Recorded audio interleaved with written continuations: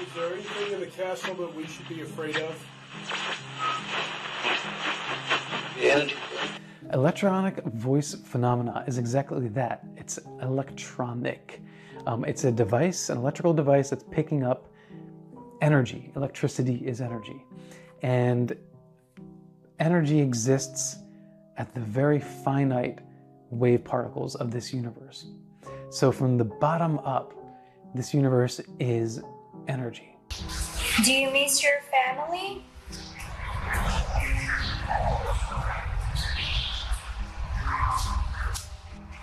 Electronic voice phenomena anybody else hear that?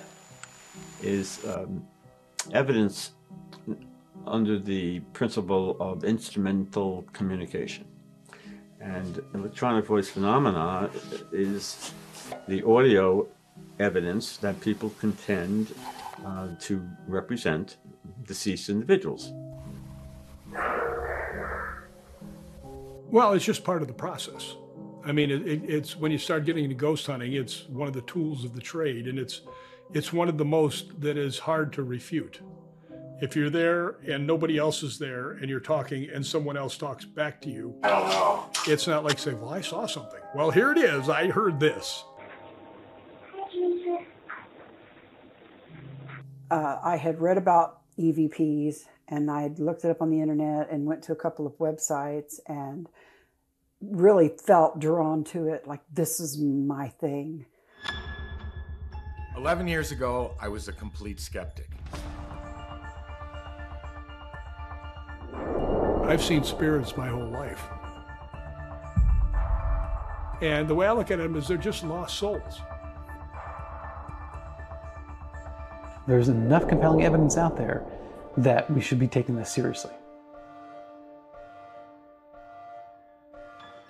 Once you open that door, you can't close it. Is there anyone here?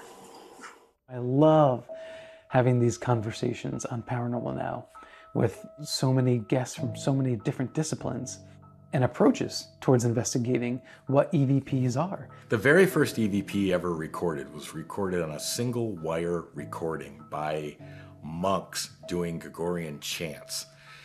They were so freaked out when they listened to the recording because there was more on there than just the chants. In fact, one of the monks heard his deceased father leave a message on the recording. The monks went to the head of the monastery and told him what happened because their re- religious beliefs were that they were not allowed to communicate with spirit. This got escalated to the Pope, and the Pope's response was it was the device that recorded the spirits, not you, so you're okay. So, of course, the monks were relieved, but that was the first recording that ever recorded um, EVPs. But we know they've been recorded on every device since. They have the ability to easily manipulate electronics, and uh, it's a fascinating subject, and can't wait to see what else we can find. Five. Two, two. They're in here. There's many, many people who will go into uh, haunted homes, allegedly, uh, with recording instruments, uh, with geomagnetic instrumentation, trying to communicate with spirits, as they call it, and to obtain audio information that they can have as direct proof.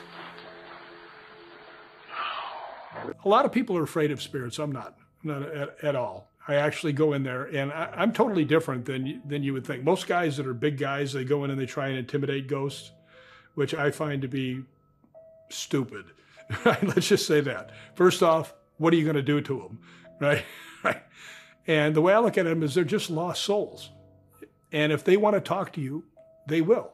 If a guy came in my door right now and started threatening me, I'd throw him off the balcony right? And I assume that would be the same thing they want to do if I go over there. So I go and I'm very polite. And people say this all the time. Say, man, you're the most polite ghost hunter we've ever seen. And one thing that I do that other ghost hunters don't, I explain the equipment before I get started. Right now, I've been in 1500 year old castles in Scotland and Ireland, things, and I've seen people go in there and say, "Yes, can you come to the K2 meter, or could you talk into the voice recorder?" And I'm like, yeah, those people back then were probably real familiar with voice recorders and K2 meters, right? So I will explain to them, I say, look, this is something you may not know. This will let me know that you're here. It's got five lights on it. They'll all light up, and I'll hold the thing down so you can see it flash. If you hold it, it'll all flash five, right? And I said, it'll do that. I said, and look, it won't hurt you. And I hold it up next to my face, and then I put it down. I said, this will just let me communicate. If you come close to me, it'll make this go off. So if I'm asking you yes and no questions, if you want to answer yes, come close. If you don't, just stay back. And matter of fact, most of the people, even the guys from Scottish Paranormal, who may be the best ghost hunting group in the world, they really may be. They, even they said, "Man, why does that always work for you?" I said, "Because I make a discussion with them. I just start talking to them." Are you a female? So my nephew and I did an experiment one day. I went out and purchased a um, an analog recorder, one of those little desktop recorders with this cassette tape. And he and I sat in my kitchen in the quiet and just stared at each other, 30 minutes on each side. And it was kind of boring, but, and it was really hard to stay quiet for that long. And we flipped it over and we started to listen to the tape to see if there was anything on there. And we were shocked when we heard this voice that was so clear. It was as if this old man was in the room with us. And he said, Are the spirits listening? And immediately after his voice, we heard another voice that said, Can I listen too? So there's many different ways people do this. Uh, there's many different types of recording instrumentation designed to obtain communication from discarnate entities. How many of us are in this room? Eleven. Many individual researchers claim that they can do that. You can hear this on various online formats, um, types of audio input that people do receive. Some of that is very clear and and time locked to the to the questions that are being asked, but there's no clear proof that that it represents any any type of deceased entity. I just came here to talk to you. There's so many different theories on it. Well, it's just bleed over from a radio station. It could be, you know, a walkie-talkie somewhere. It could be this or that or anything else. Well, horse hooey. It's not a very accurate tool because there's so many different kinds of artifacts that can be created using them. Uh, crosstalk and radio frequencies in the atmosphere can contribute to a lot of erroneous kinds of interpretations where people think it's it's a deceased person or some spirit when in fact it's not. And the brain can easily make this kind of mistake. Well, first off, you're talking on a recorder. It's not going to pick up radio signals and things like that. I have never had a radio signal on my phone. If it picked up radio signals, I'd be able to listen to it on the, on the recorder all the time, right? You'd think in, in the you know many many years I've been doing this that I would have many radio signals. I don't. I never have any uh, walkie-talkie signals, right? Could it be another cell phone talking? I suppose. But I've been in places where there's nobody else. There's no cell phones around me right? So could it be something else? Possibly. But when you get a direct answer to a question that you asked, just say hello. What's up? What's up? And it's hard to it's hard to be objective, but uh, there are there could be various ways to improve the sensitivity of these recording techniques. Although people many people contend that they have been successful. However, there have been a few, and only a few, uh, experiments done at universities. Uh, those that have been done, I believe the Institute of Parapsychology at the University of Freiburg. There have been a few psychologists that have looked into electronic voice phenomena. None of them have provided any definitive conclusion about the validity of anything that they recorded.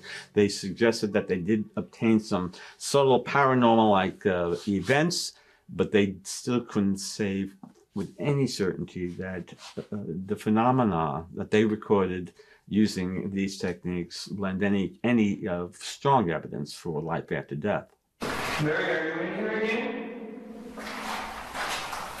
Some EVPs are a whisper. and you have classes of EVPs. You have a class A, a class B, and a class C. C is the lowest class, meaning that it can be difficult to hear. You can hear a voice, you can hear tonality in what's being said, but you may not be able to identify exactly what's being said. Class B is clearer than a Class C.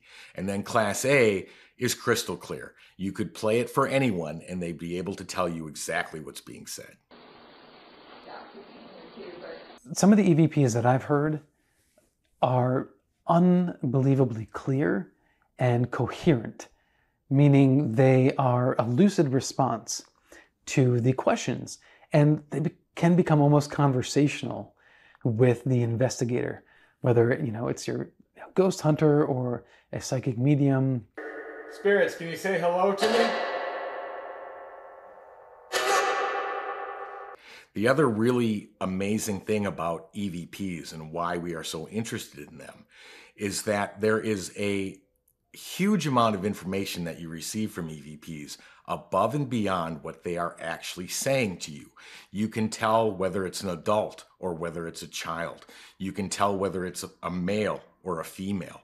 You can discern whether they're using some type of dialect or a different language there is a huge amount of information that comes through on an EVP that gives you additional information above and beyond what they're actually saying. What is your name? And that's where the really exciting technological component comes into this with electronic voice phenomena. So there's different ways to think about this, right? It could be transcommunication phenomena, um, intra-communication phenomena, however you want to approach it you're connecting to the other world. So, how, how do you do that? Well, the best way to supplement your work and to validate your work is when you're in a space and you're asking a question, you can start with a simple yes or no question. And if you get a simple yes or no response, then that's compelling. And so then you move forward.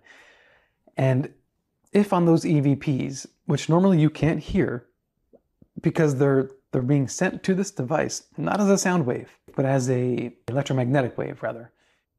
Whatever that frequency is, our human ears are not hearing it. The device is picking it up. And so when they respond in a way that confirms or is in line with what you are asking, then that begs begs further investigation by others and the scientific community.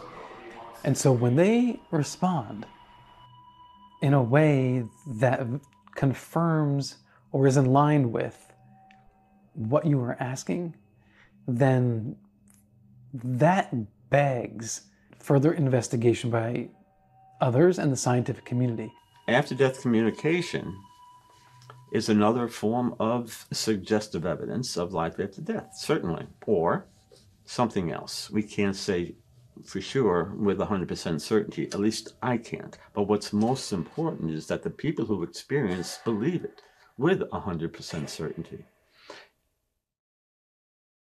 Is are these perceptions of unusual events such as this is this evidence of maybe biophotons from the body that simply linger in time and space to be seen by people who are sensitive to it for whatever reason?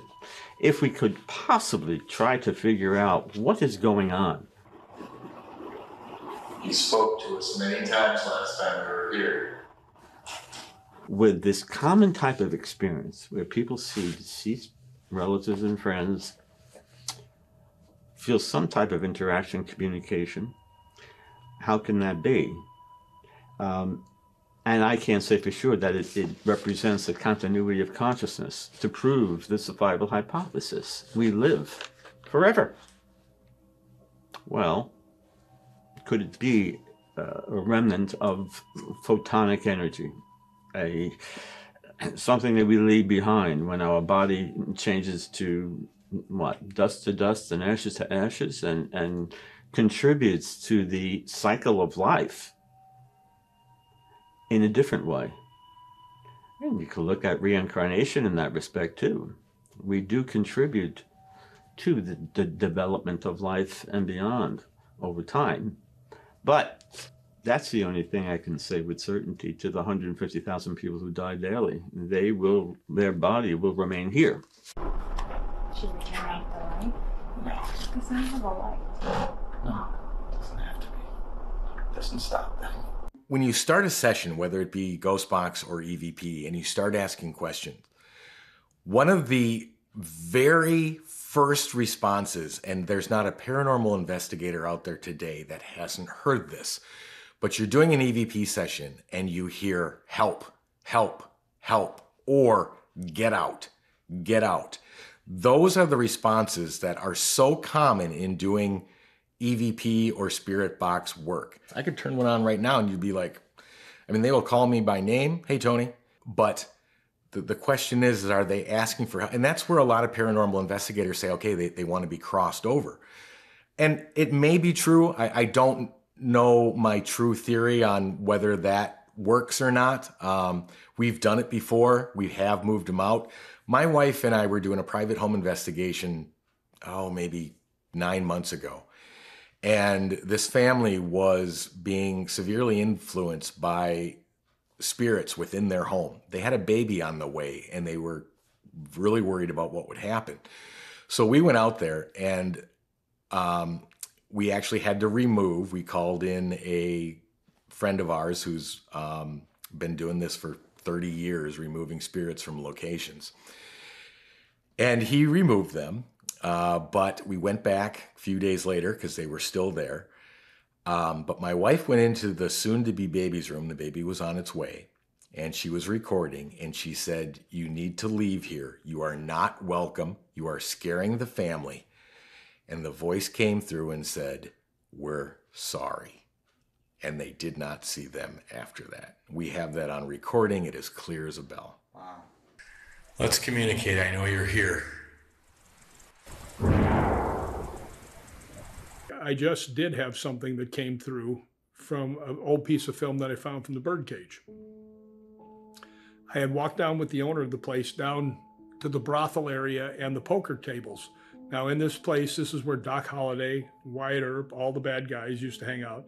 They had the world's longest poker game, and that lasted like for three years without ever stopping.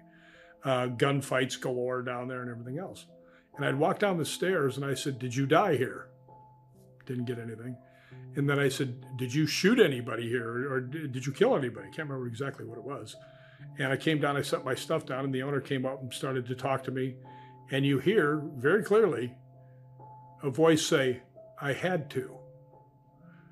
That has to be an answer to the did you shoot somebody? Because it's did you die here? I had to. It doesn't, that's not how you would phrase that, you know, but I had to. So uh, I have every intention of going back and asking more questions at the birdcage. Um, things like that fascinate me. Who was it that said that? Was it Doc Holliday? You know, who, who, you know, which famous gunslinger killed somebody and they're willing to talk about it? I mean, isn't that amazing? Who'd you shoot? Who are you? You know, that's my that's my next questions. And I didn't hear it then. And the reason I had nine pieces of equipment at the, uh, and it was just me and the owner, ghost hunting this place, which is a big honor. Bill, you know, Billy Hunley was very nice to me. Uh, nine pieces of equipment. Within 45 minutes, they were all dead. I mean, the spirits sucked the energy right out of it. They use that sometimes to manifest. And um, it was interesting that uh, when I got back to my hotel room, the cameras worked. What if we're the spirits somewhere else and there's somebody somewhere trying to hear us?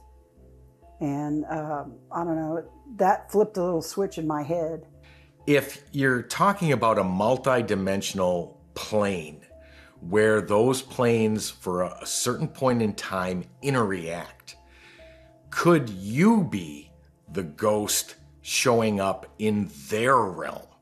And the responses you're hearing are not them screaming at you from a human perspective to get out, but that you're the ghost in their realm and they're scared help because they're seeing some apparition of you and they're saying, help, get out. So there's so many dimensions to this from what we've experienced that those questions still need to be answered. Spirits, what day is it today?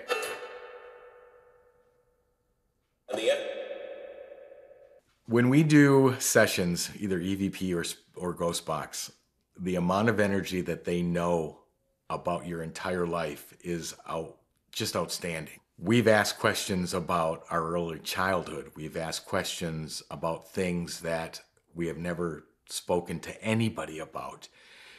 And they can answer those questions.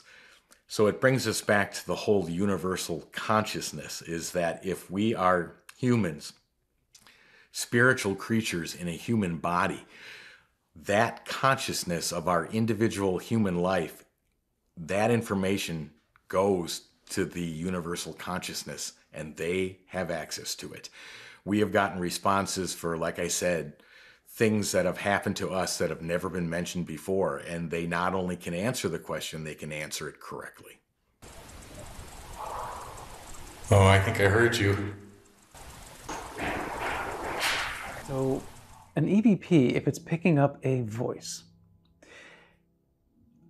the first question is Is that actually a ghost? Or is it picking up an energy wave, an electromagnetic wave, in the form of AM or FM frequency, um, a walkie talkie nearby?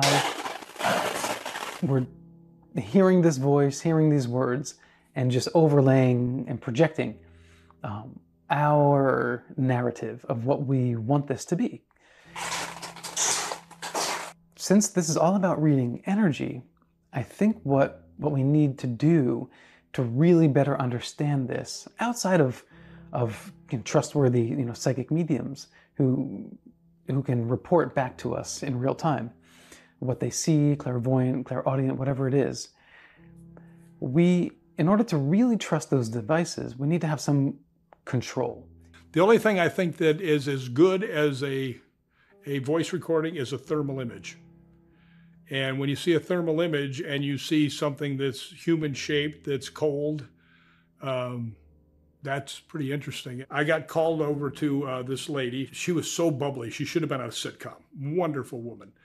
And I go over to her, her uh, loft apartment and I go all through it. Nothing goes off. I'm not usually when I walk in, I can usually tell if something's there right away, just because I've been doing it so long.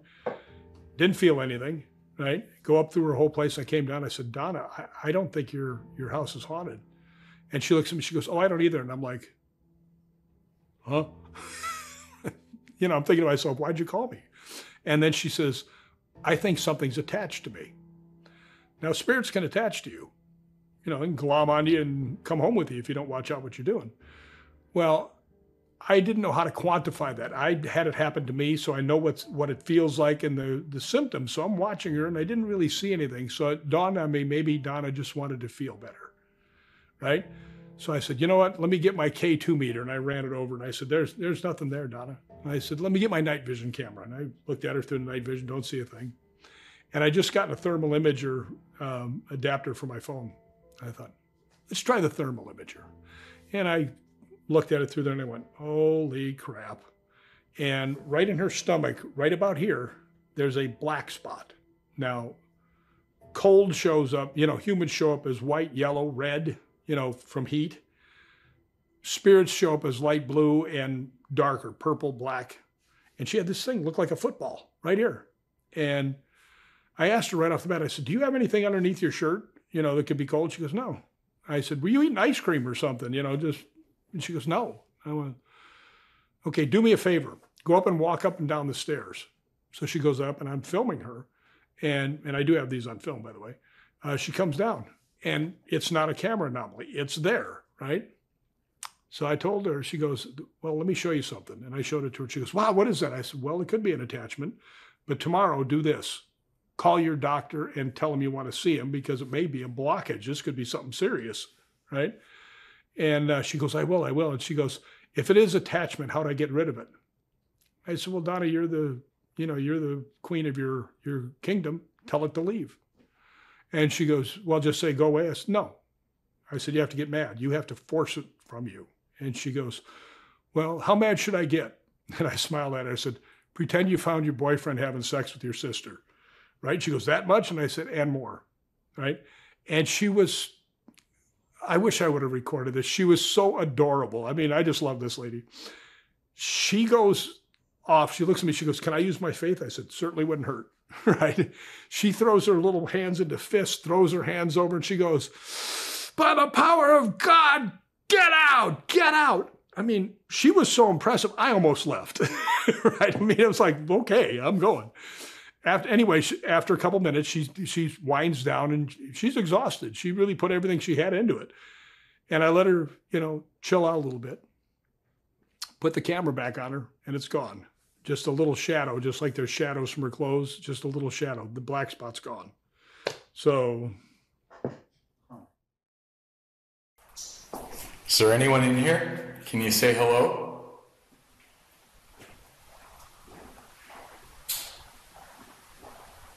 Man, it is dark. When this began, it was probably two years into our investigation that we moved from EVP to what we call ITC, even though EVP is technically part of ITC, but using ghost boxes to try to get direct communication from spirit. Can you walk up and down the hall for us? The first one we got was your typical SB7. It is loud, it is noisy, it is scratchy, but it works. We heard the responses to 99% of the questions we asked, although they were hard to hear because the white noise is so loud that sometimes the responses can be hard to determine what's being said. If there's any spirits in this lounge, can you say something to us?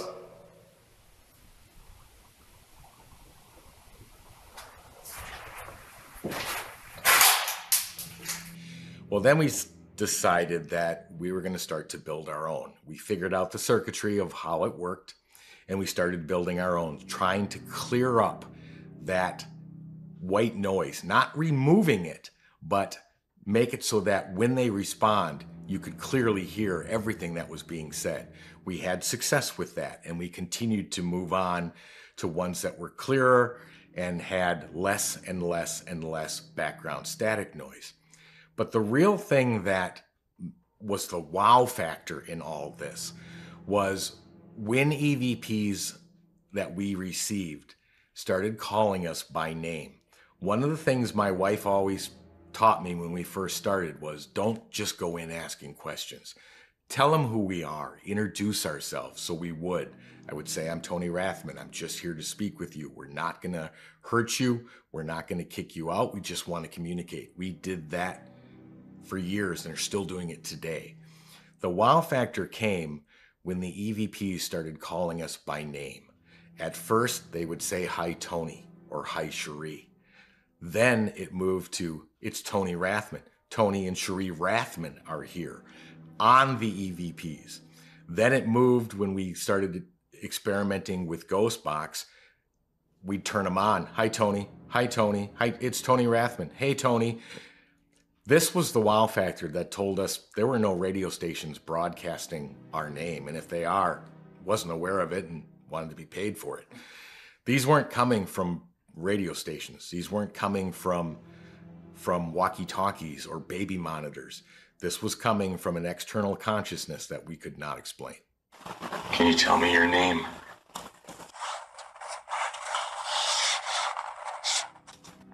So we're in a space and we're asking an alleged ghost a question.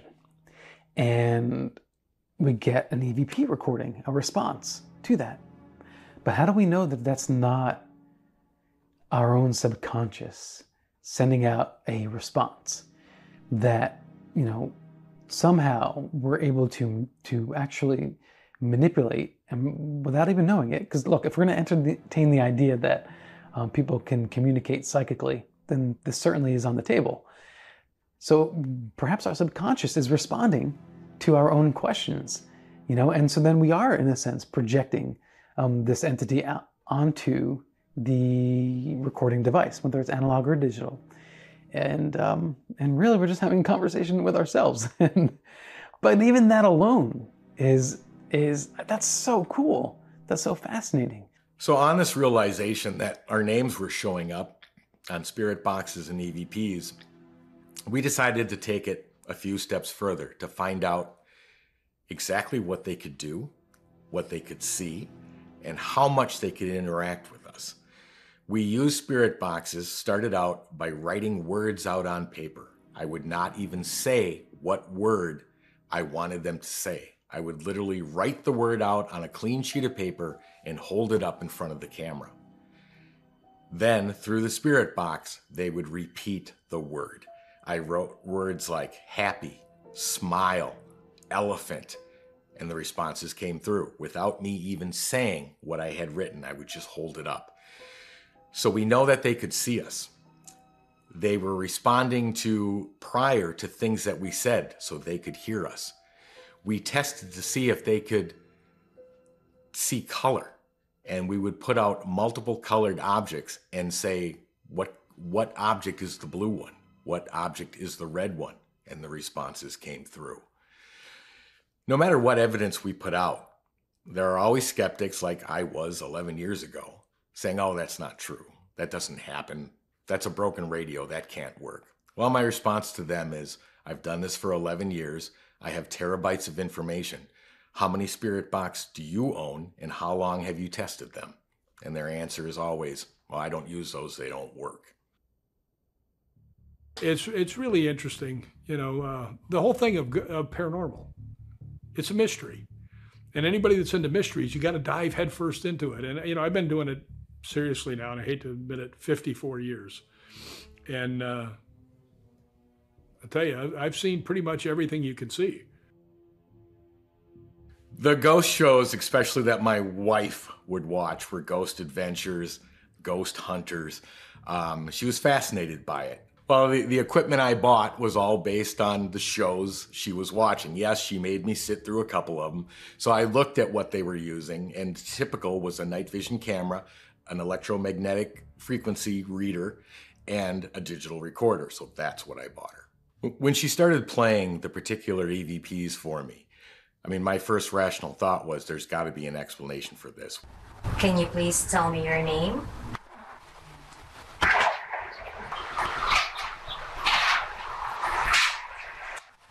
to try and explain that, especially from using a, a, scientific view of how this is happening, we couldn't explain it. We went through every rational possible to figure out okay, did somebody just walk by that we weren't aware of? Did this come from a source, a speaker system within the, the hotel that maybe somebody broadcast something? Why they would broadcast somebody's name and just say a name, that we couldn't explain. The further we went into the captures that we received, the more puzzling it became. And we knew that something was occurring beyond what science can explain. So we only had one decision, and that was to go back, try again and again and again.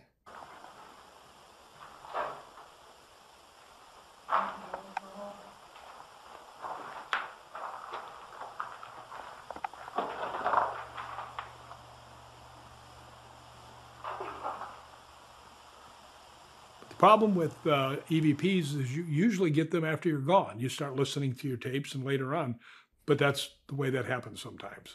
Um, sometimes though, you know, you go back and you hear it and then you can try and catch more. Generally doesn't work. You know, I've seen other people that it has worked, but generally doesn't work. An EVP can be recorded on almost any recording device, whether that be an analog device such as a digital, such as a tape, or today's digital recorders, which are the most commonly used because they're small, they're easy to move around. My wife has captured EVPs on her cell phone. Some of the best devices, though, for capturing EVPs need to use a WAV format, not an MP3. An MP3 is what is called lost format, meaning that it condenses the audio and reduces the audio quality a wave format in at least a 48K. We usually use a 96K in order to increase the frequency of the recording and allow for the best EVP captures. The higher the frequency in the recording increases the range at which the sounds are captured. I'm here. My guess is back here. Some EVPs capture captured you do not hear with your human ear, which means it has to be either above 20 kilohertz or below 20 megahertz, because that's where human hearing falls off the charts. How the digital recorder is able to take that signal, which is outside of human hearing, and allow it to be heard on the digital is the whole intent of what's considered to be ITC or instrumental transcommunication. Instrumental transcommunication uses a third party device. In the in the form of EVPs, that's a digital recorder. In the form of direct spirit communication, that's a ghost box. What that does is the box performs on its own without interaction from the subject doing the session. The box has to be able to record and be able to play back what was heard for review. That is the whole concept of ITC. This allows that the person doing the, the session cannot influence what the box is recording or saying. And Spirit Box, Ghost Box, or digital recorder can't be influenced directly on what it records, unless, of course, you're making noise or scratching at it or something along that lines. The box is going to record something out of your control, and during playback, you hear the response. Do you need help?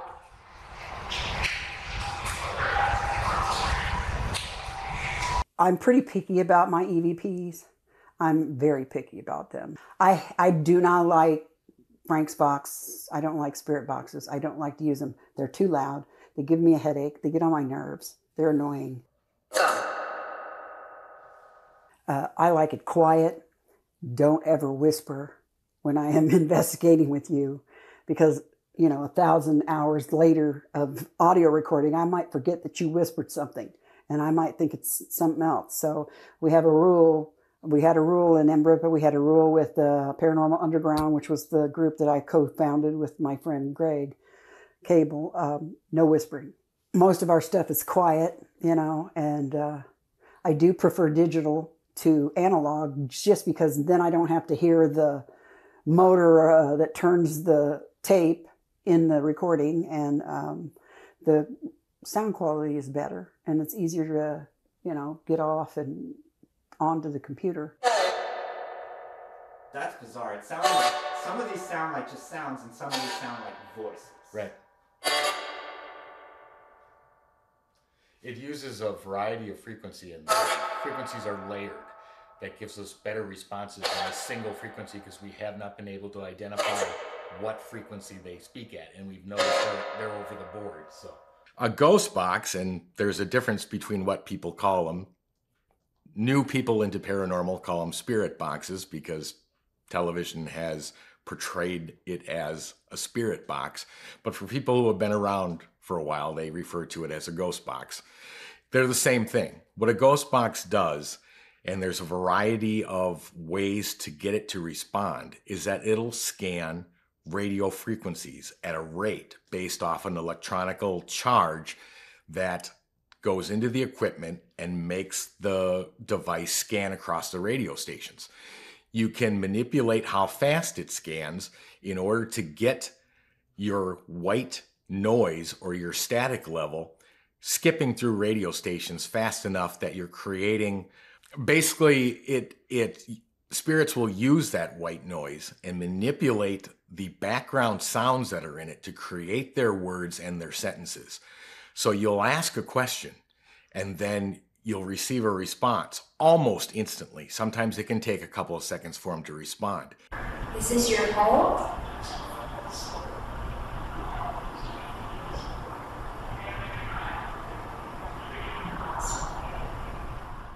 But the whole point of a spirit box is to connect with another consciousness, whether it be extraterrestrial, whether it be spiritual, but you're connecting consciousness to consciousness. So, in other words, when you ask a question, you get a response over the device answering your question. And of course, one of the most important things to look for is timing and relevance. Did the timing of the answer come through in a quick enough response to the question you asked? And relevance Was the answer relevant to the question you asked? That's what determines whether you are making a connection. Spirits, can you do me a favor? Can you say the word um, elephant?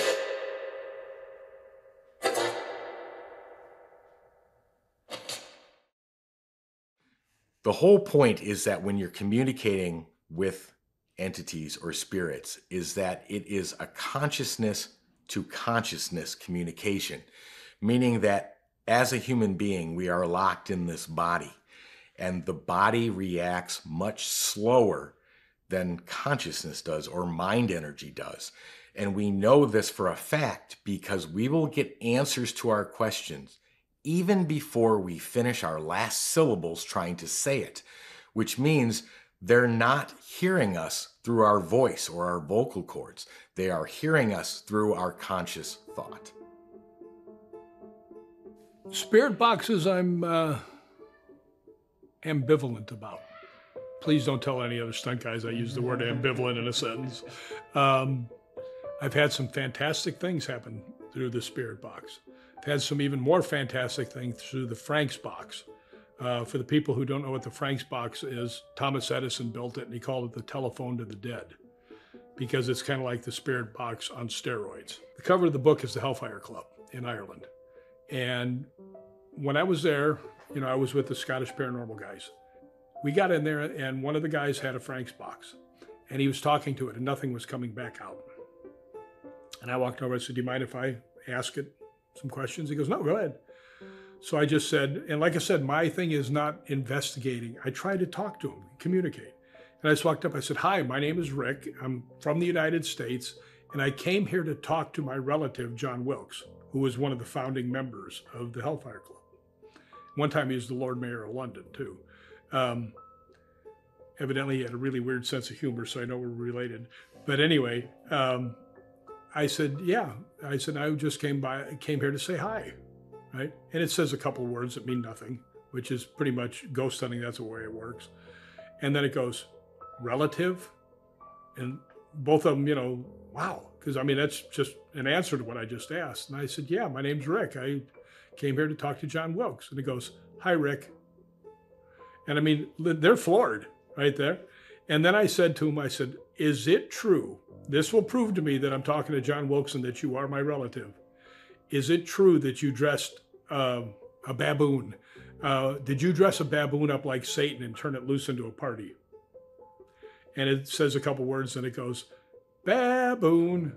And I mean, their jaws just dropped. I mean, it's like, what are the chances? Let me ask you this. You're a smart guy. What are the chances of hi, Rick, relative, and baboon being said within three minutes conversation? I mean, there's there, and I mean, they were just like, huh. I have another one that I can show you sometime too. I don't have that on recordings. Ghostbox, you hear it immediately. Oh, really? An EVP is the only recording device that you have to wait to go back to play. A, a ghost box gives you direct communication, meaning you literally ask the question out loud and the response comes over the box, you hear it immediately. The great thing about an EVP is that digital recorders are small, they're compact, they can be carried with you almost anywhere. And as long as you have a, a somewhat controlled environment where you don't have outside sounds affecting what you're recording, it's the best way to get evidence that there's more going on here than, than meets typical environment. The Ghost Box is awesome if you want to be able to have what would be considered a more direct communication. Some of the EVPs that I've heard are unbelievably clear and coherent, meaning they are a lucid response to the questions and they can become almost conversational with the investigator, whether you know it's your ghost hunter or a psychic medium. There's so much evidence out there that it really confuses me that that people are so resistant.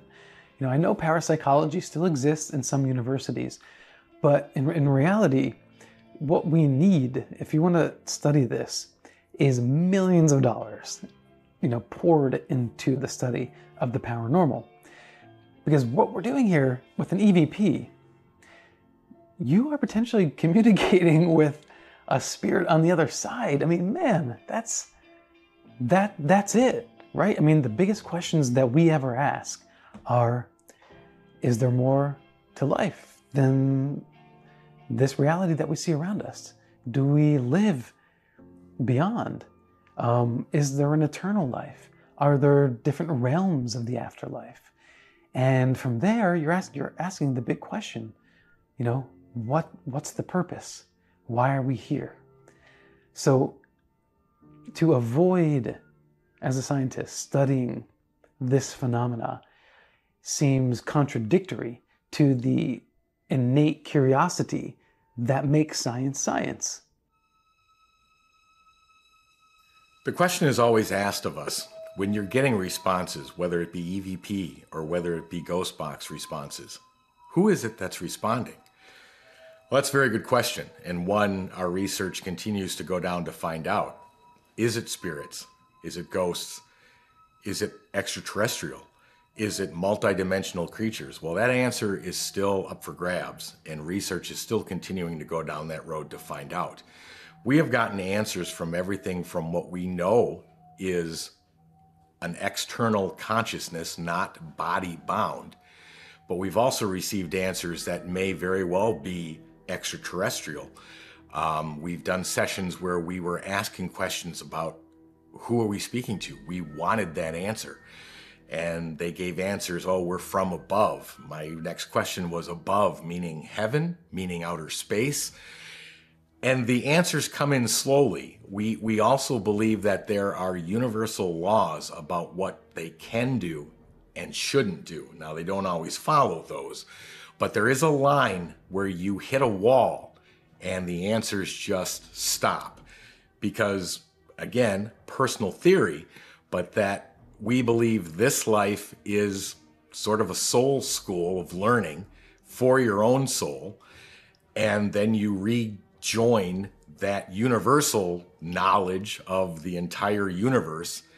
And if you mix the paranormal with your own world, it's very easy to get sidetracked from your natural life that you're supposed to be living here.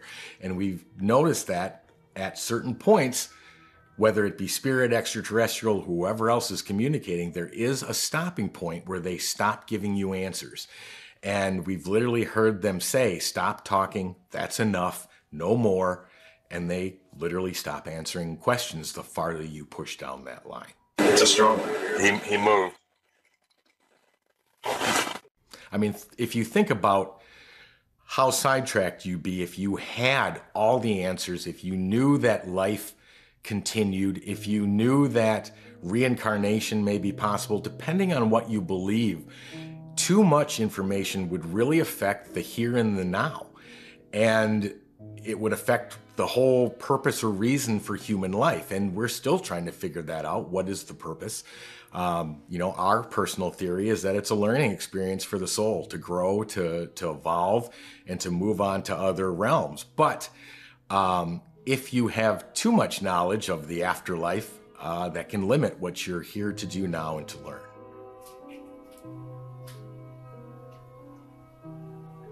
I mean, I know I've had interactions and I've had EVPs. I've actually heard voices without uh, anything. And I'll give you for instance. There's a place called the Pioneer Saloon that's right outside Las Vegas. Very, very haunted. And I've been there so many times.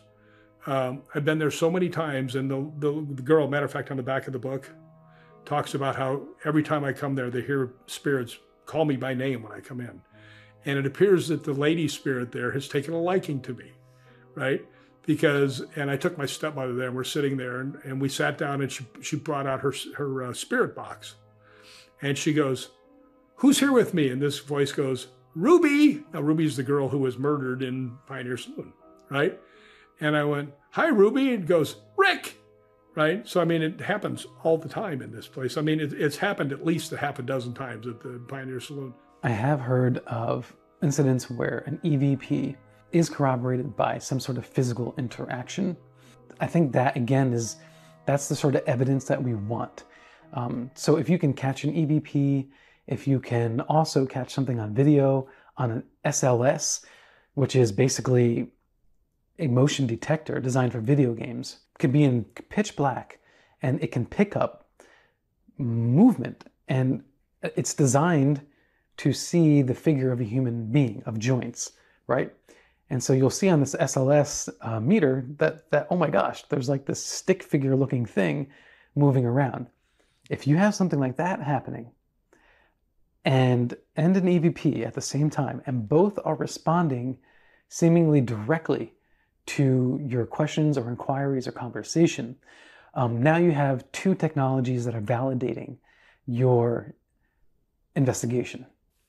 I do feel that there are multiple universes, multiple dimensions, and uh, that there are entities that live in them. I think there's some entities in some other dimension that are aware of us and want to make contact with us, um, just like we do them. And um, I believe there's people, for lack of a better descriptive word, on the other side that are actively working and, and making, uh, you know, um, equipment to contact us.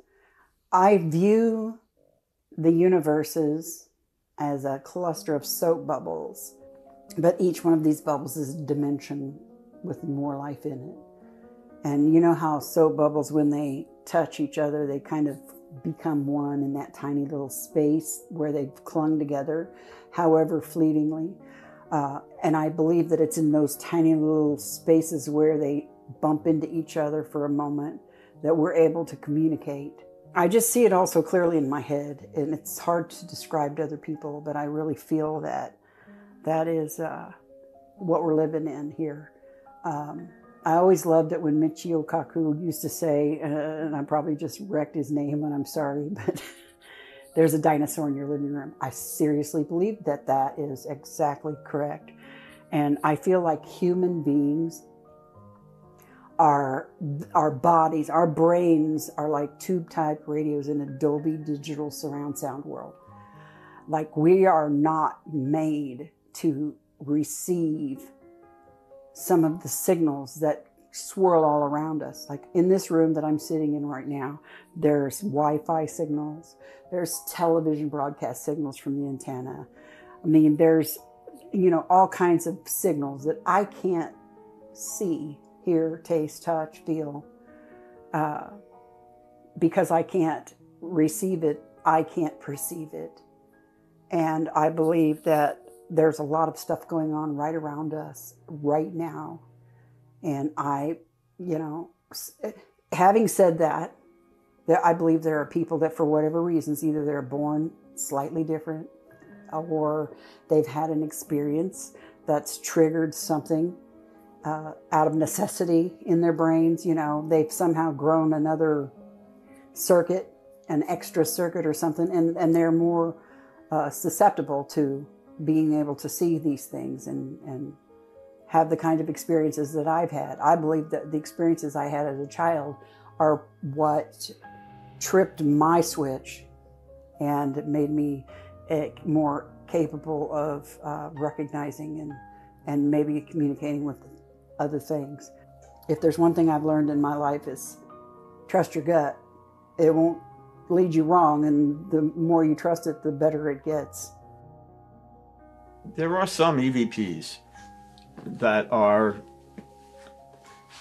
highly suggestive of a discarnate entity actually imprinting somehow their intention in the manifestation of an audio audio energy on some recording device.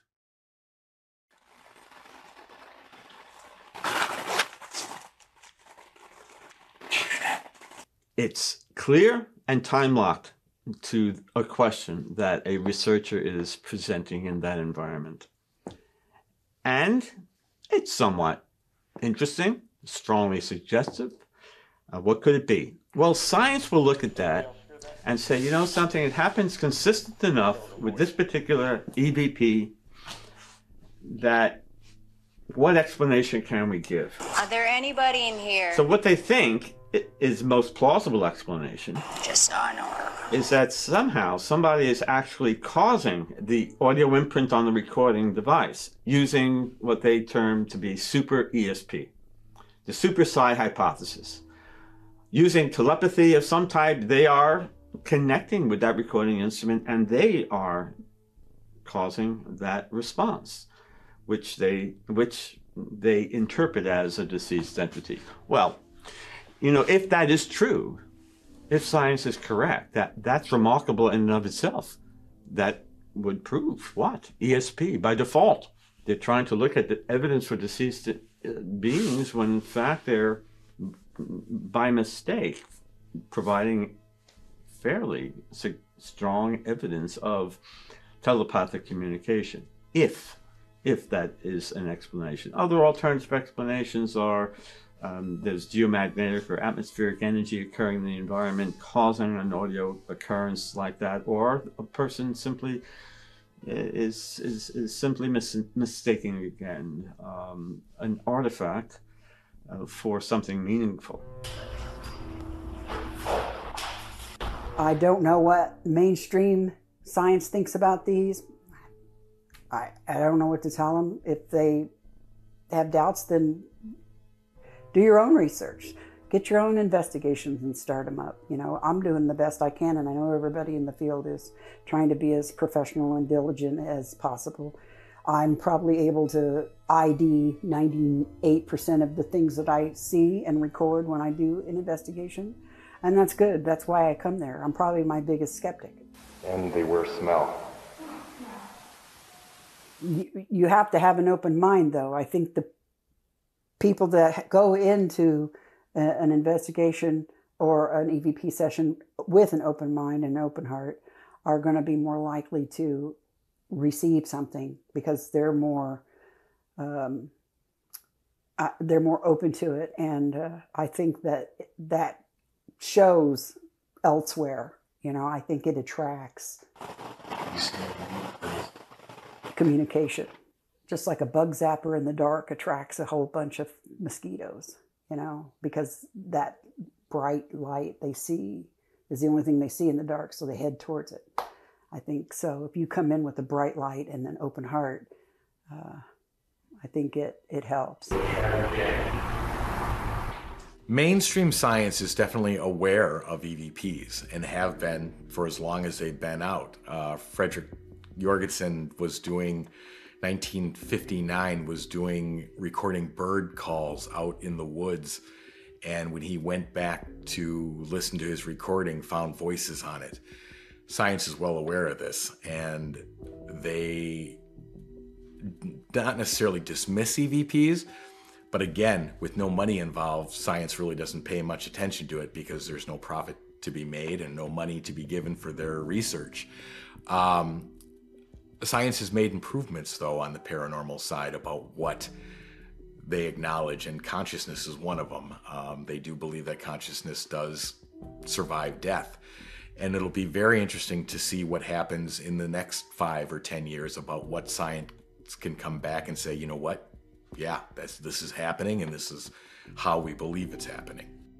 EVPs is a much broader subject, and that can be any kind of communication that's picked up. I think the one that I find just the most fascinating is phone calls from the dead. Now, we don't hear about this as much anymore. And this goes back to how I think most ghosts seem to be communicating. So, back in the more analog phone days, the landline days, um, someone might have had uh, a loved one or a friend or work associate pass away.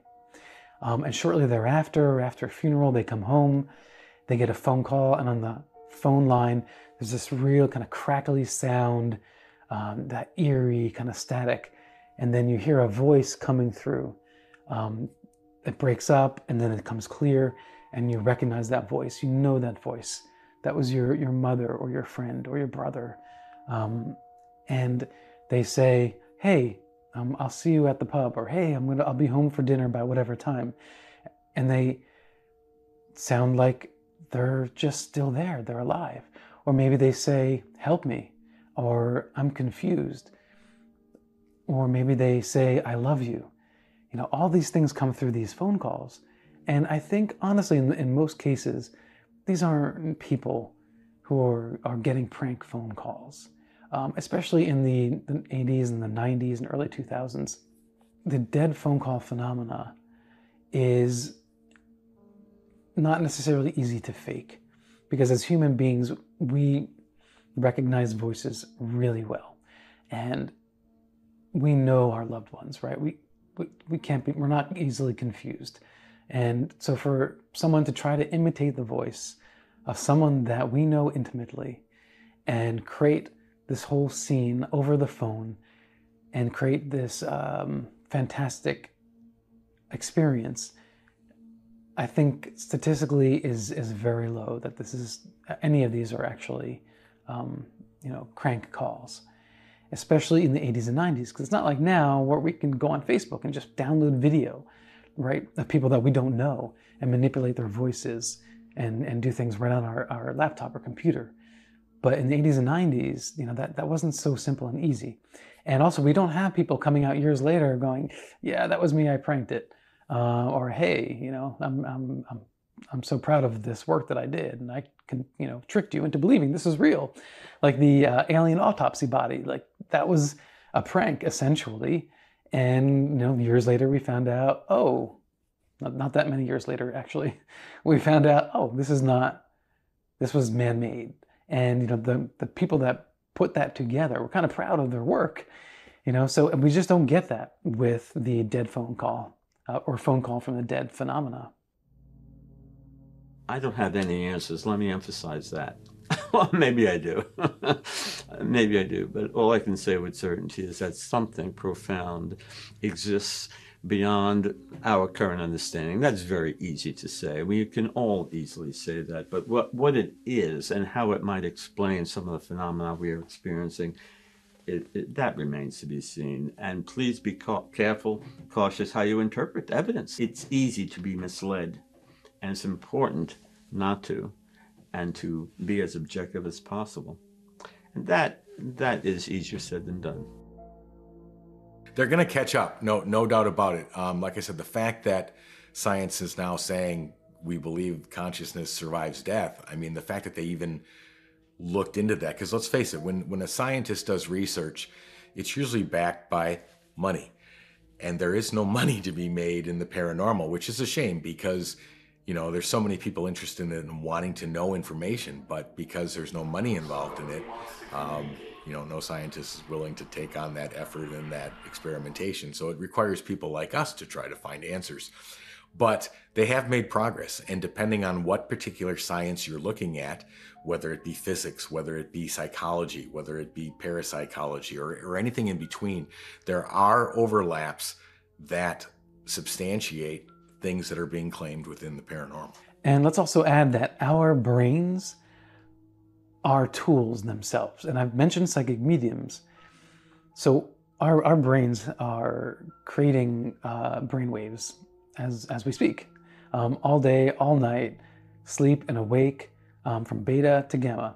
If you are a spirit or an entity, um, I could imagine that if you're able to manipulate um, energy waves that can be transmitted and picked up on a device, a recording device, that you could also use our waves, right? I mentioned we all have some sort of radioactivity in general, but our brain waves, that you can manipulate that and use that towards um, communicating. Um, and maybe there's something there to that uh, because our brain, our thoughts are often in the form of words. So either they can, you know, take our own thoughts in a sense and, you know, filter that into the equipment, or maybe the ghost is actually us. Yeah, um, EVPs are my very favorite part of paranormal investigation. I think they're the strongest case for um, life elsewhere, whether that life be a, a life that was alive here at one time or is living somewhere else right now. No matter what these things actually are, it is utterly, utterly interesting and intriguing. And it's, it's, it's a mystery that definitely needs to be solved.